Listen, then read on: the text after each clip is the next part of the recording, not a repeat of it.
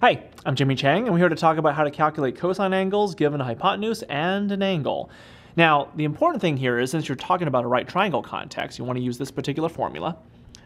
Cosine of theta is equal to the adjacent leg over the hypotenuse. Now, if you're given an angle as well as a hypotenuse, you can actually solve for the adjacent to kind of complete the ratio going forward. So if the adjacent leg is your unknown, then you can multiply both sides by the hypotenuse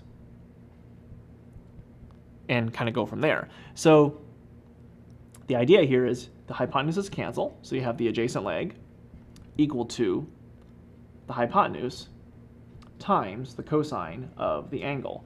Now, since you're given the hypotenuse and an angle, it allows you to find the adjacent pretty easily. You just have to be sure that your calculator's in the proper mode. Now, the beauty of it is, once you have the adjacent leg, since you're given the hypotenuse, you can find the opposite leg, and therefore you can find all the other ratios of the right triangle, on this, at least on the sides.